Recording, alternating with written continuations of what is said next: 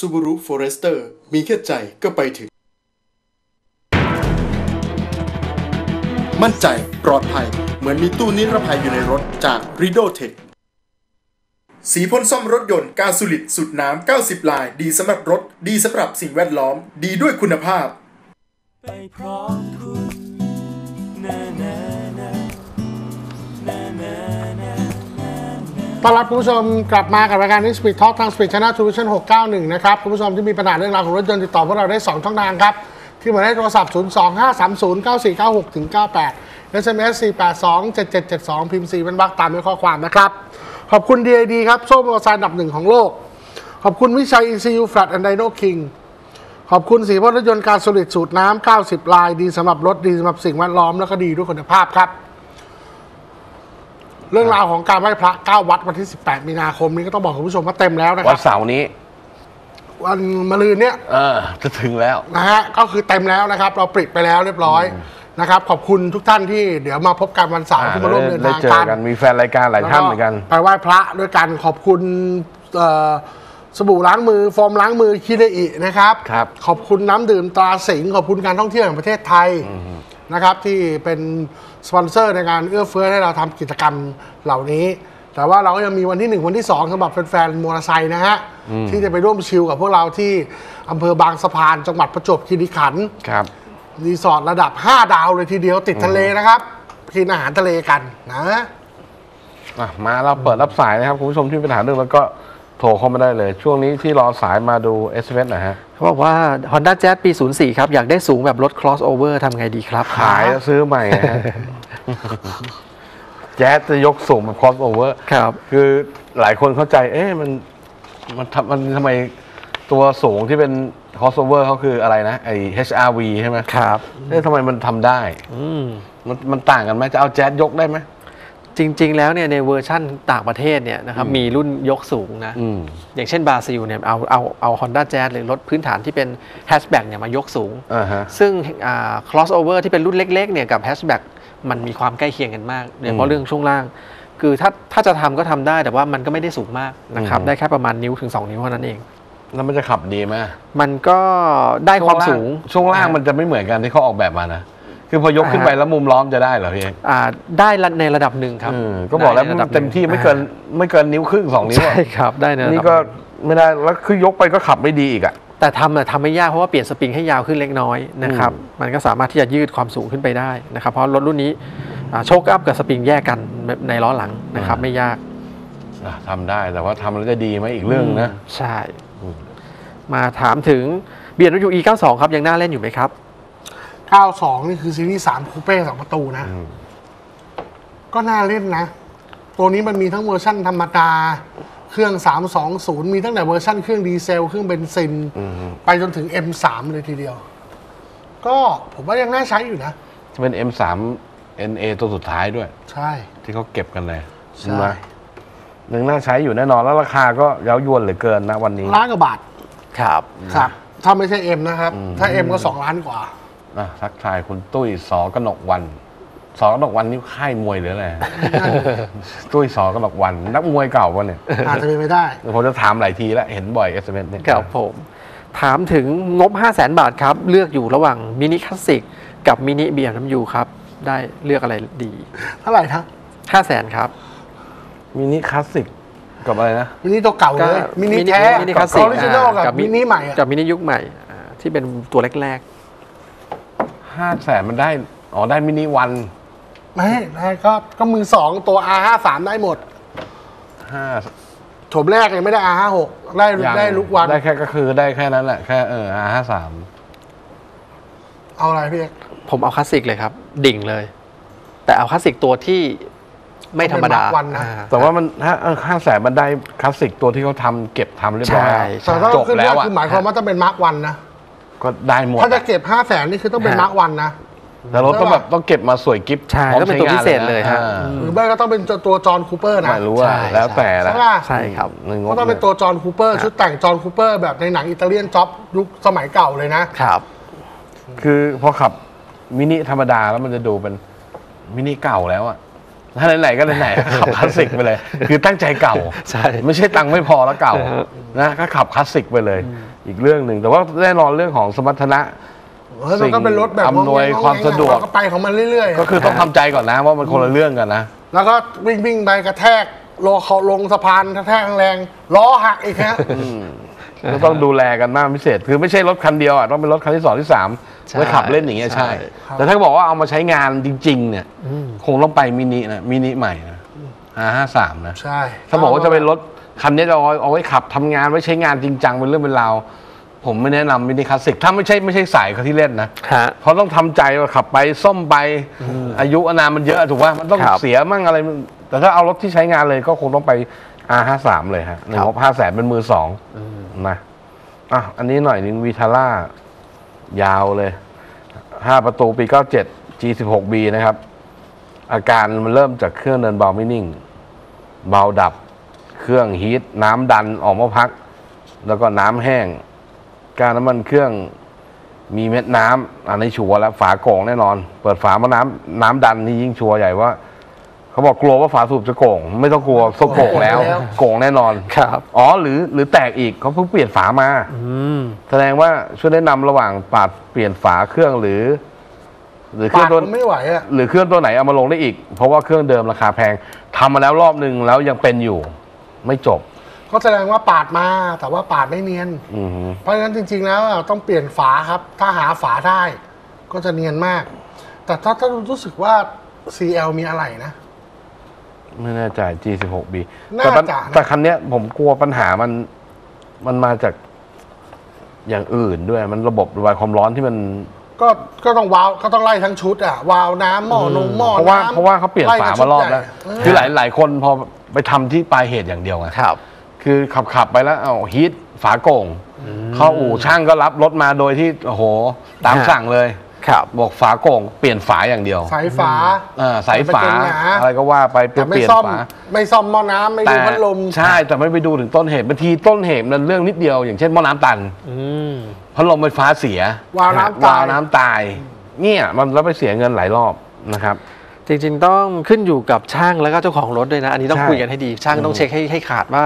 ไอสาเหตุที่มันฮีทเนี่ยมันฮีทจากอะไรต้องไล่ให้เจอ ถูก พอเจอปุ๊บต้องเปลี่ยน ถ้าเปลี่ยนเสนอเปลี่ยนปุ๊บลูกค้าก็ต้องต้องสู้นะ อืม เพราะว่าบางทีแล้วเนี่ย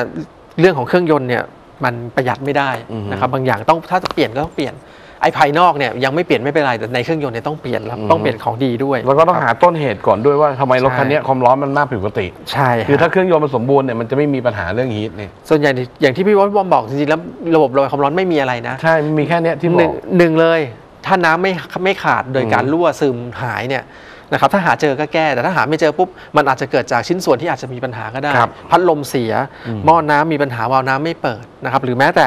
ตัวเครื่องยนต์เองมีปัญหานะครับรั่วตามดใช่ถูกตามดก็อะไรเป็นอไปย่างได้เงี้ยแล้วแล้วมันมีเครื่องตัวไหนที่ลงแทน G16B ได้ จริง ๆ ดีสุดลงลงตัวสุดคือ G16B ครับนะเครื่องฮะวิชาร่านะ ใช่ ไม่ถ้าต้องเป็นไปยุ่ง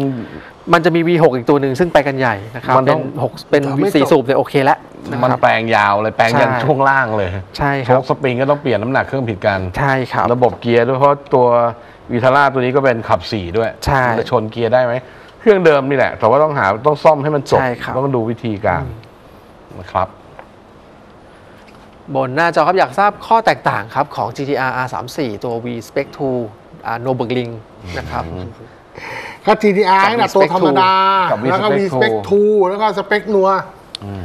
ส่วนใหญ่แล้วเนี่ยพื้นฐานเนี่ยเหมือนกันเพราะเป็นรุ่นท้ายแล้ว ครับแต่คำว่า Nürburgring เนี่ยมันมันคือการ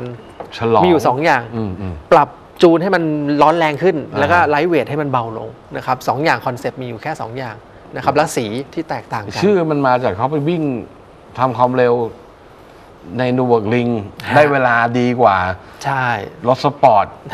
จากค่ายอื่นว่างั้นเถอะใช่แต่ของแซกเวลาดีกว่าปอร์เช่หรือไงเนี่ยครับ ใช่ไหม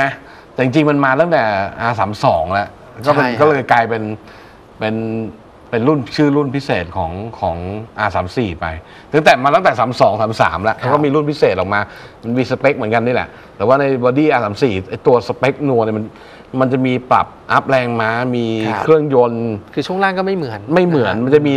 โอ้โหรายละเอียดมันเยอะมันฮะ ข้างนอกก็ไม่เหมือนใช่นะครับ ไฟท้าย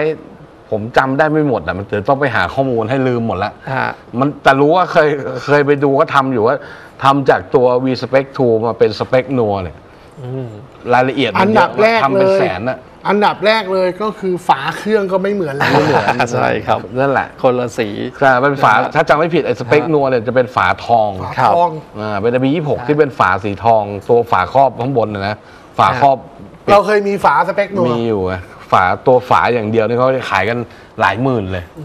เพราะฉะนั้นตัวเครื่องก็สเปคก็ไม่เหมือนกันแต่เอาถ้าเอารายละเอียดจริงๆเนี่ยทั้งคันอย่างนี้ดีกว่า ใช่ แต่ว่าทำได้มันจะมีของอยู่ฮะอืมจริง ๆ ตัวพิเศษเนี่ยก็จะมี V Spec V Spec 2 V ครับ Spec นูบวกลิงจริงๆมี M Spec ด้วยนะมีมีที่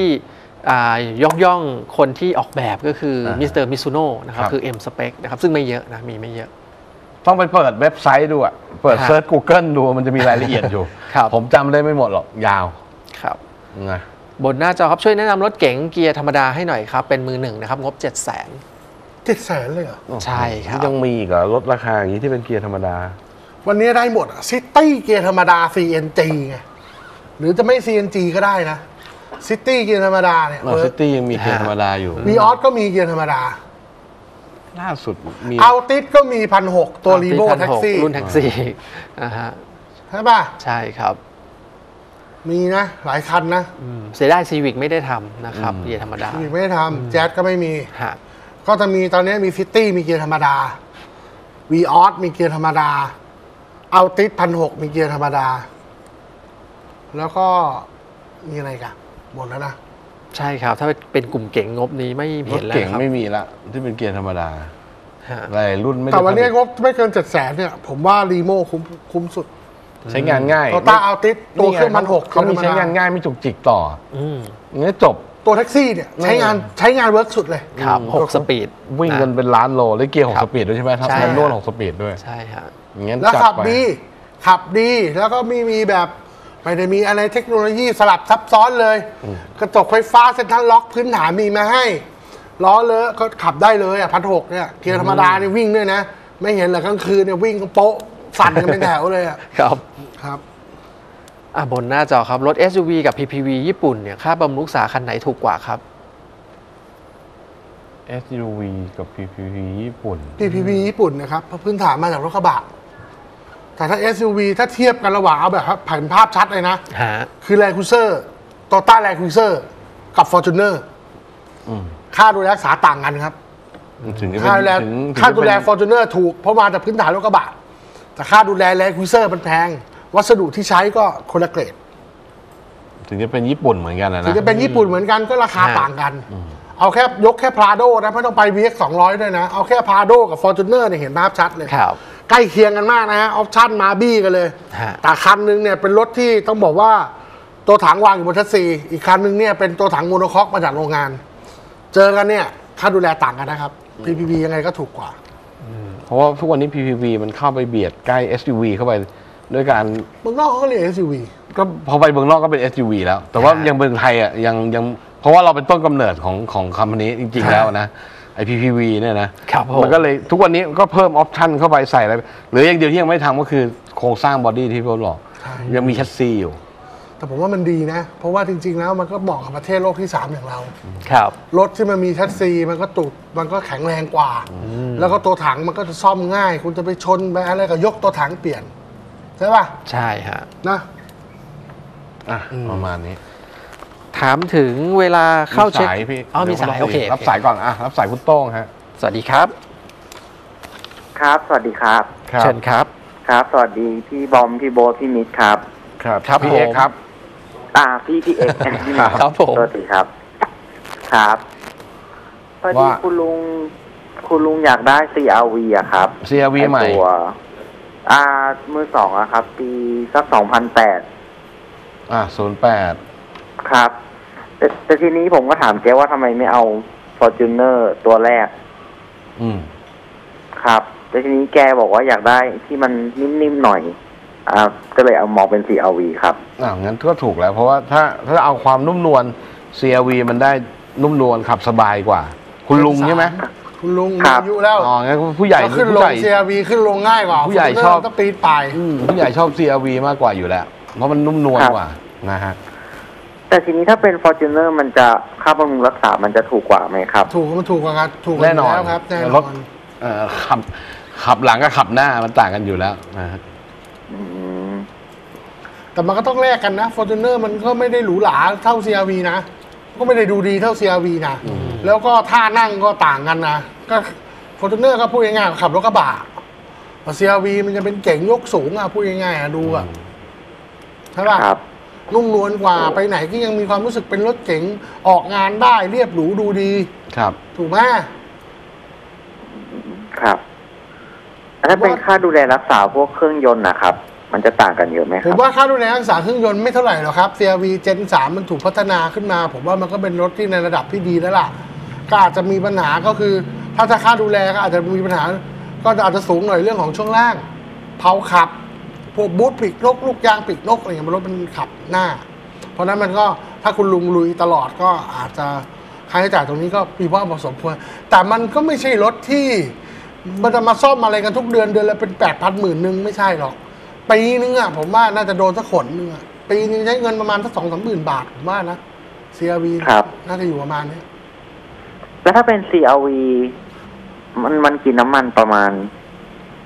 CRV เท่าไหร่ซื้อได้เครื่องครับสองพันก็พอครับ เครื่องสองลิตรก็จะอยู่ที่เอเวอเรก็ประมาณ